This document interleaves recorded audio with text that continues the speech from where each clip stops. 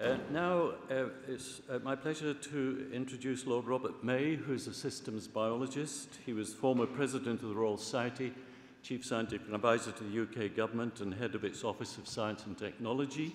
He's uh, had a very distinguished career ranging from a personal chair in theoretical physics at Sydney, chair of zoology at Princeton, Royal Society Professorships at, at Oxford Imperial College. He has a mass of world's top prizes, and it's a pleasure to welcome Bob, who will speak to us on cooperation among nations in a crowded world.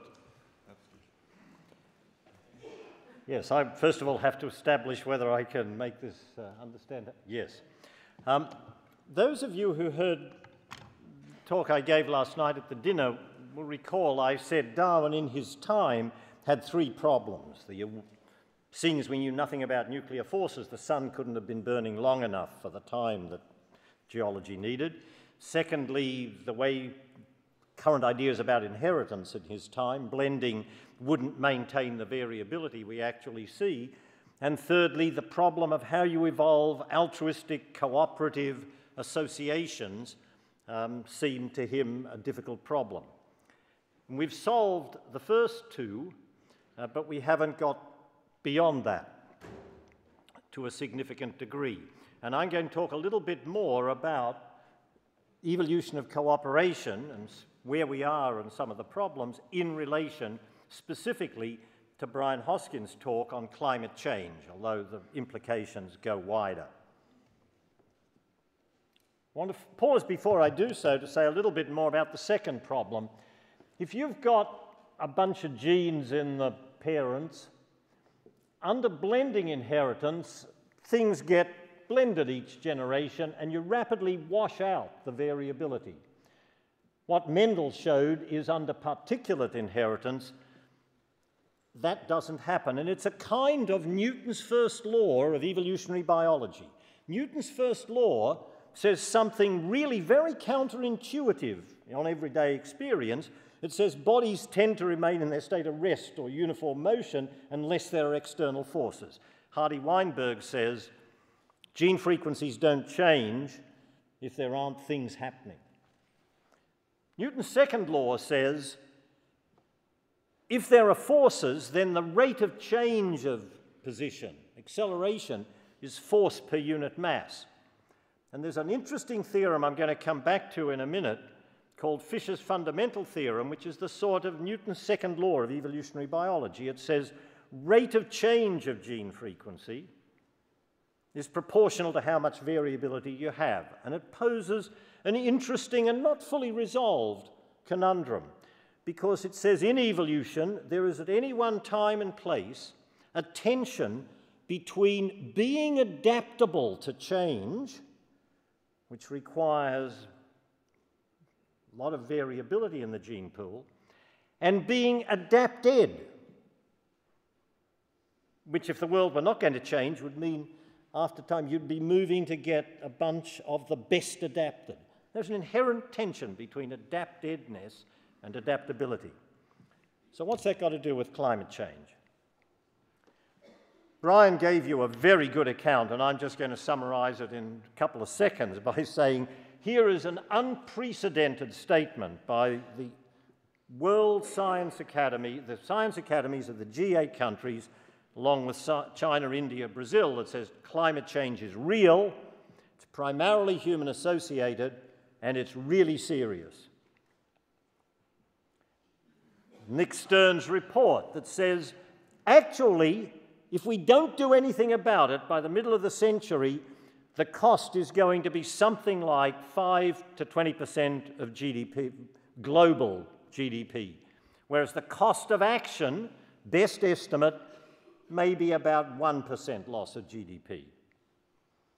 And of course, the problems fall very inequitably. So, what we need to do is get together, as Brian said, and cooperate to address this. But here we run into the central problem of evolutionary biology. Small groups, groups of relatives, groups with rather kinky um, genetic uh, things, haplodiploids, you can see how cooperative, seemingly altruistic associations make sense in terms of selfish genes. But more generally, if you look at uh, a community of people and what we're doing at the moment, there's a huge and expanding literature in which people evoke metaphors. If you're an ecologist, it's the tragedy of the commons. If you're an economist, it's the free rider problem. If you're an evolutionary biologist, it's the prisoner's dilemma. And for those not familiar with it, it's a game. Here's a two person game. In each round, you can choose to cooperate or defect.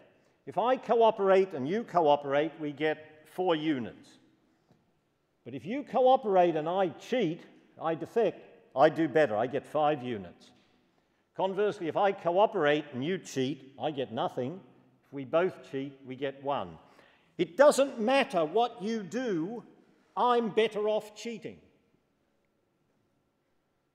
You think the same, and we get locked into mutual defection. It's not a trick. There's no, it's, not a, it's a paradox. There's not a trick. There's not a trick answer. There's a huge literature, experiments where people, Harvard has a laboratory in the business school where undergraduates can sign up to play these games of, uh, as it were, generalized repeated trials, dilemma, and they play for small sums. And frankly, I don't trust any of the answers because they, I think they're more keyed on wanting uh, little narrow win definitions rather than cooperative outcomes. Uh, but no research council is going to give you enough money to have people play it for a sum that really matters, which is what we're doing with the planet. Perhaps the most interesting of these are games in which the peop many people are playing, you see what the players did. One form of it is you've each got a sum of money, and there are 10 rounds, and you each put some of the money in. And if you get over a threshold, then you'll all keep the money you didn't put in. And what always happens is, if you think against cricket, there's a run rate at which you should be putting money in to get to the threshold. At the beginning, everybody puts a little bit too little, hoping the others will be doing fair shares. Then they realize it's not going well and they begin to catch up. And toward the end, they all put all their money in to try and meet the hurdle, and more than half the times they don't, and they all lose all their money. One of the most disturbing versions of this game is a, a comparison among different countries where you can choose to punish people.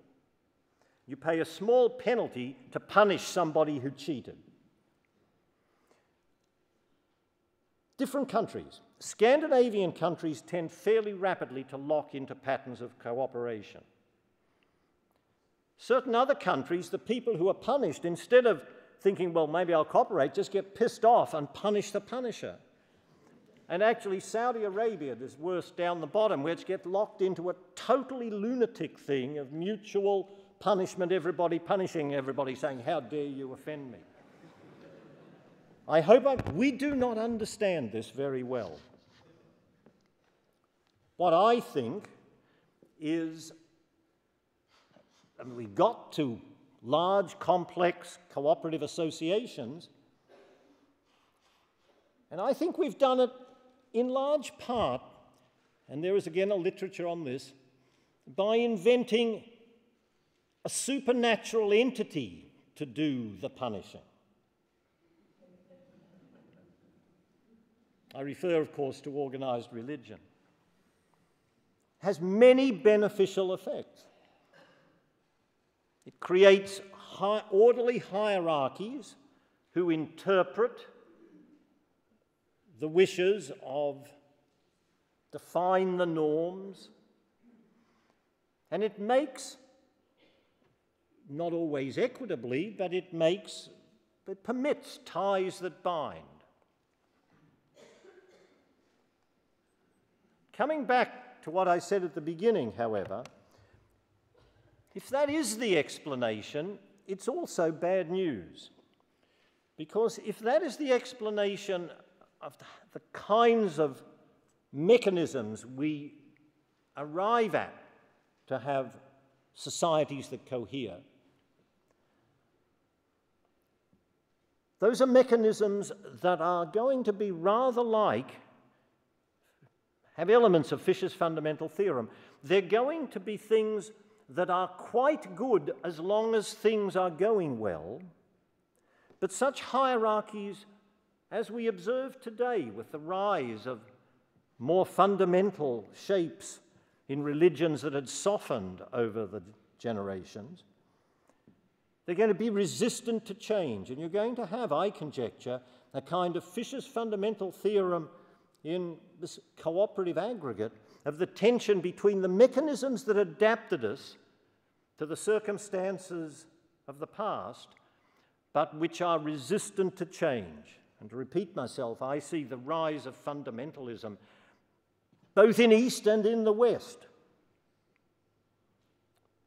as, this, as a reaction to the changes we need.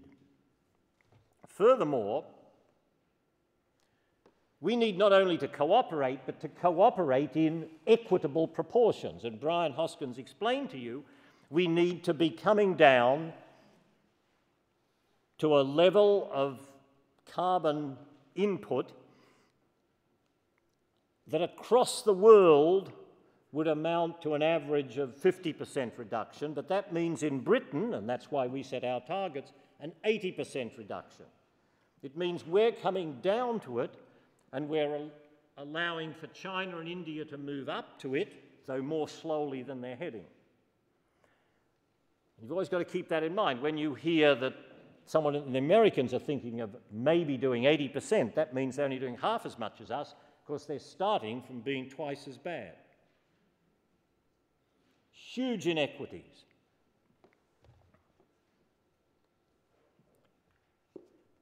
My penultimate slide. This is not some touchy feely greeny slide. This is a UK Ministry of Defence slide.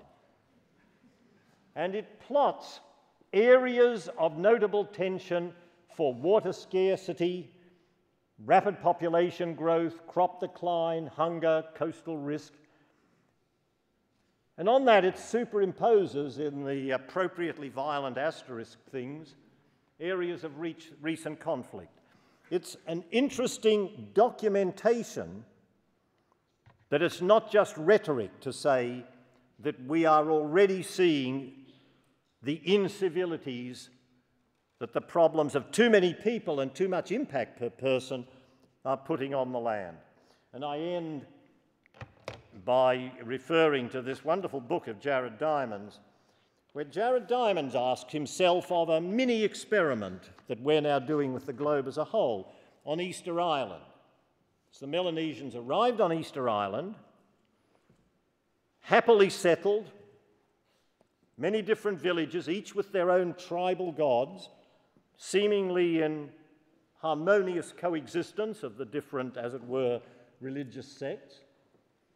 They cut down all the trees, fishing based economy, and in the final stages, you see internecine warfare, the statues pulled down, and Jared wonders what did they say as they cut down the final trees? Did they say it's jobs, not trees? did they say we need more research. More likely, they got locked into I will if you will, giving way to I won't if you won't. And it's not a comfortable reflection. I would like to end on a more upbeat note, but I would think, uh, to borrow from uh, Johnson on, on second marriage, um, it would be a triumph of hope over expectation.